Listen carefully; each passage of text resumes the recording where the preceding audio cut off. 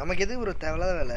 நம்ம பாட்டுக்கு அமைதியாக இருப்போம் ப்ரோ ப்ரோ அவர் பார்த்து பாரு ப்ரோ இது ஒரு எப்படி சொல்கிறது இது ஒரு கேஸ் ஓகேவா பெரிய இடத்துல கேஸ் போட்டிருக்காங்க. ஏகப்பட்ட இடத்துல வந்து உங்களுக்கு கிளியர் கட்டாக நான் சொல்லணும்னா ஏகப்பட்ட இடத்துல கேஸ் போட்டிருக்காங்க. ஏகப்பட்ட இடத்துல வந்து ப்ரெஷரு இதில் வந்து என்ன பண்ணுவாங்கன்னா அரெஸ்ட் பண்ணுறதுன்றது வந்து பண்ணுவாங்க. ரிமாண்ட்ன்றது மிஞ்சி போனால் ஃபிஃப்டீன் டேஸ் இருக்கும். ஃபிஃப்டீன் டேஸ் ரிமாண்டில் ரெண்டு நாளில் மூணு நாள் மூணு நாளில் பெயில் எடுக்கலாம். பணம் இருந்ததுன்னா. சரியா? மூணே நாளில் பெயில் எடுக்கலாம். இப்போ வந்து இன்றைக்கி மண்டே இன்றைக்கி பிடிச்சாங்கன்னா தேர்ஸ்டே எடுக்கலாம். ஆனால் உன்னை ஃப்ரைடே பிடிச்சாங்கன்னா சாட்டர்டே சண்டே கோர்ட் லீவு உன்னால் எடுக்க முடியாது. உன்னை வந்து ரெண்டு நாள் உள்ளே வச்சுருவாங்க உட்கார வச்சுருவாங்க. அப்போ என்ன வேணாலும் பண்ணலாம். இப்போ அவங்கள பொறுத்த வரைக்கும் என்ன பண்ணுவாங்கன்னா ஒரே ஒரு விஷயம். அரெஸ்ட் பண்ணுறது வந்து அவங்களே எப்படி இருந்தாலும் சரண்டர் ஆகிடுவாங்க அரெஸ்ட்லாம் பண்ண மாட்டாங்க. அரெஸ்ட்லாம் பண்ண மாட்டாங்க. அவங்களே சரண்டர் ஆகிடுவாங்க ஒன்று கோர்ட்டில் சரண்டர் ஆகுங்க சரண்டர் ஆவாங்க. இல்லைனா அந்த புளிந்த போலீஸ் ஸ்டேஷனில் சரண்டர் ஆவாங்க. இது ரெண்டு விஷயந்தான் சரண்டர் ஆனால் என்ன பண்ணுவாங்க? ஒன்றும் பண்ண மாட்டாங்க. வக்கீலை வச்சு பேசுவாங்க இது பண்ணுவாங்க எல்லாத்தையும் இது பண்ணிட்டு நெக்ஸ்ட்டு மேல்கொண்ட முறையில் எப்படி? இப்போ என்ன பண்ணுவாங்கன்னா இவர் பேசின ஒரு ஒரு வார்த்தையும் இருக்குது தெரியுமா? என்னை யாராலையும் ஒன்றும் பண்ண முடியாது அப்படின்னு சொல்கிற இது இந்த எல்லா வார்த்தைக்கும் சேர்த்து அவரை வந்து அப்படியே அவர் என்னென்ன பேசினாரோ அதை அப்படியே அசிங்கப்படுத்துவாங்க. அப்படியே அதே மீடியாவில் வச்சு அவரை அசிங்கப்படுத்துவாங்க. ஃபேஸ் ரிவல் பண்ணாமல் இருக்கிற இதை வந்து ரிவல் பண்ணுவாங்க. அவர் என்னென்னலாம் வந்து பே தப்பாக பேசினாரோ அது எல்லாத்துக்கும் ரியாக்ட் பண்ணுற மாதிரி ரியாக்ட் பண்ணுவாங்க.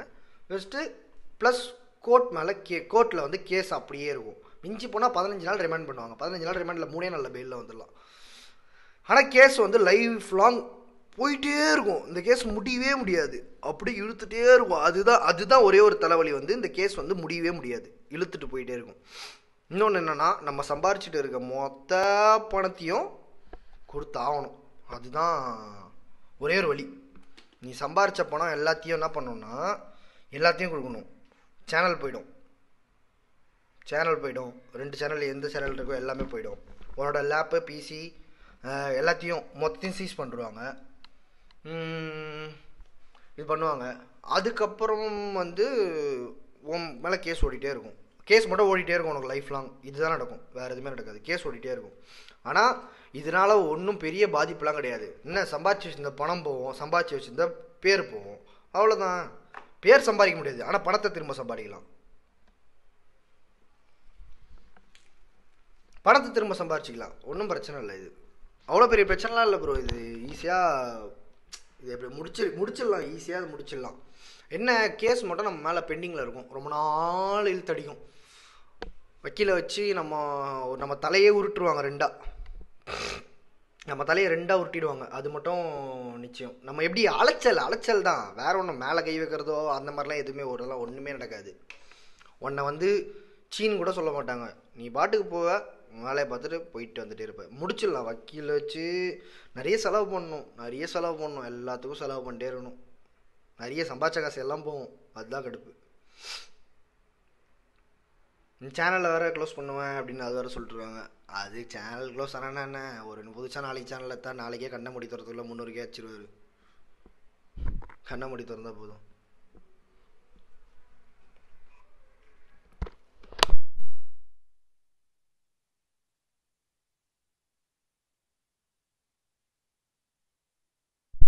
ஃபேஸ் ரிவீல் ஆகுமா?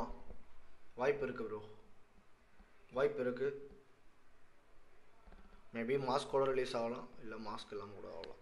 தெரில ப்ரோ ப்ரோ அவ்வளோ பெரிய பிரச்சனைலாம் இல்லை ப்ரோ இது அதெல்லாம் பார்த்துக்கிறோம் ஒரு பெரிய விஷயம்லாம் கிடையாது. பெரிய விஷயம்னு சொல்லிட்டு கேஸே நிற்காது ப்ரோ அது இந்த கேஸு எல்லாமே இ கம்ப்ளைண்ட் ப்ரோ இது எல்லாமே இ கம்ப்ளைண்ட்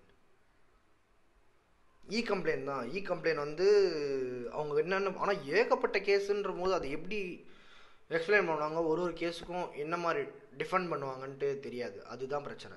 நம்ம என்னென்னலாம் பேசணுமோ இப்போ இல்லை ப்ரோ ஆறு மாதத்துக்கு முன்னாடி ஏழு மாதத்துக்கு முன்னாடி பேசின எல்லா விஷயத்தையும் ரெக்கார்ட் பண்ணி க- போட்டு வச்சுருக்காங்க ப்ரோ கம்ப்ளைண்ட்டில் அப்போ எல்லாத்தையுமே வந்து என்ன பண்ணுவாங்க?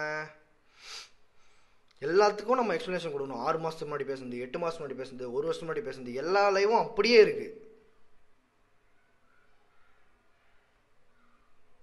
பேசுனது எல்லாமே அப்படியே எதுவுமே ப்ரைவேட்டில் இல்லை எல்லா லைவுமே ஓப்பனில் இருக்குது எல்லா லைவுமே ஓப்பனில் இருக்குது அதுதான் பிரச்சனை. அதுலேருந்து எல்லாத்தையும் எடுத்துட்டாங்க.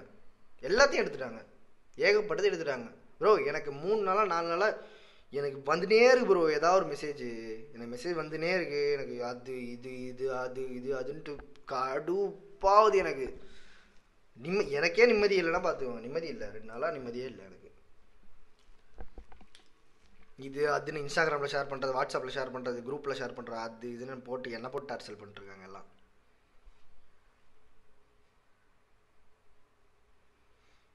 என்னென்னலாம் நம்ம பண்ணுமோ எல்லாத்தையும் நோட் பண்ணி வச்சுருக்காங்க. அதுதான் ஒரே ஒரே ஒரு பிரச்சனை அதுதான்.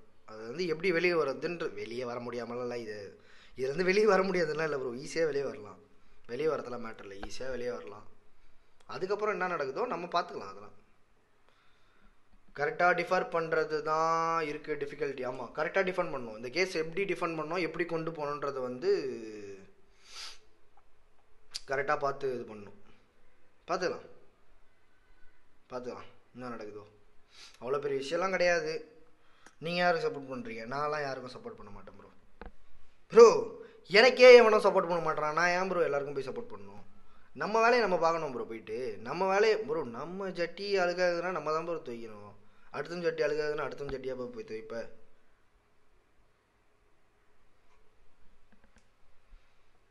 பார்த்துக்கலாம். அதெல்லாம் அதெல்லாம் கரெக்டாக மூவ் பண்ணுவார் ப்ரோ ஐ திங்க் என்னை பொறுத்த வரைக்கும் நான் வந்து அவரோட பழகின விஷயத்தில் வந்து நான் சொல்லணும்னா இந்த பிரச்சனையை வந்து ஈஸியாக ஹேண்டில் பண்ணுறது கொஞ்சம் கஷ்டம். ப்ளஸ் பொறுமையாக ஹேண்டில் பண்ணால் முடிக்கலாம். பொறுமையாக ஹேண்டில் பண்ணணும். அதான் மேட்ரு பொறுமையாக ஹேண்டில் பண்ணாருன்னா அவருடைய மனநிலை எப்படி கோவப்படாமல் பொறுமையாக ஹேண்டில் பண்ணாருன்னா ஈஸியாக தப்பிக்கலாம். ஈஸியாக இந்த பிரச்சனை எப்படி முடிக்கணுமோ அப்படி முடிக்கலாம். அதுதான் விஷயம். அவன் பார்த்துக்கலாம் அது பார்த்துப்பாங்க அது அவங்க பார்த்துப்பாங்க. அவங்களோட விஷயம் அவங்களோட விஷயம் ப்ரோ அது. நமக்கு நீங்கள் கேட்டுகிட்டே இருக்கிறதுனால நான் சொல்கிறேன் எவ்வளோ கேட்டிருக்கீங்க? காலிலேருந்து என்னை போட்டு உயிரை வாங்கிட்டு இருக்கீங்க? நான் அதனால் பேசுகிறேன் இதெல்லாம் நான் பேசவே மாட்டேன் அதை என் லைவ்லாம் பேசவே மாட்டேன். என்ன பேச வச்சிட்ருக்கீங்க நீங்கள் உட்காந்து உங்களுக்கு புரியுற மாதிரி இது சொல்லியாச்சு. இதுக்கு மேலே நான் என்னத்தை சொல்ல? அவன் நம்ம மேலே பார்ப்போம் ப்ரோ போயிட்டு. நம்ம மேலே பார்ப்போம். நமக்கு எதுக்கு? அப்புறமா நீ என்ன சப்போர்ட் பண்ணுறியா அப்படின்னு சொல்லி ஒருத்தன் கேட்பான். அப்போ என்ன நீ சப்போர்ட் பண்ணலையான்னு ஒருத்தன் வந்து கேட்பான். ஏன்டா டே என்னை பார்த்தா பைத்தியக்காரமாக மாதிரி தெரியுதுடா அப்படின்ற மாதிரி இருக்கும் எனக்கு. ஒருத்தன் வந்துட்டு தெரியுமா ப்ரோ கேட்பான்? நீ என்ன மதன் ப்ரோக்கே சப்போர்ட் பண்ண மாட்டேற அப்படின்னு சொல்லி கேட்பான். ஒருத்தன் என்ன நீ மதன் ப்ரோக்கே சப்போர்ட் பண்ணுற அப்படின்னு சொல்லி கேட்பான். என்னத்த நான் சொல்லுவேன் சொல்லு. ம்? அவனுக்கு நான் எப்படி பதில் சொல்லுவேன்? எந்த மாதிரி அவனுக்கு பதில் சொல்லுவேன்?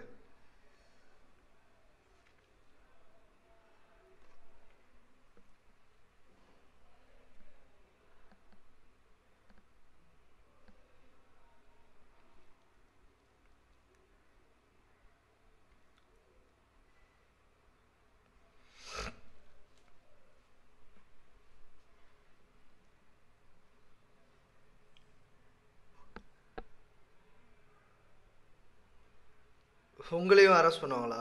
ஆமாம் ப்ரோ ப்ரோ யார் ப்ரோ நீங்கள் பைத்தியம் ப்ரோ நீங்களாம் பைத்தியமா இல்லை பைத்தியம் மாதிரி நடிக்கிறீங்களா ப்ரோ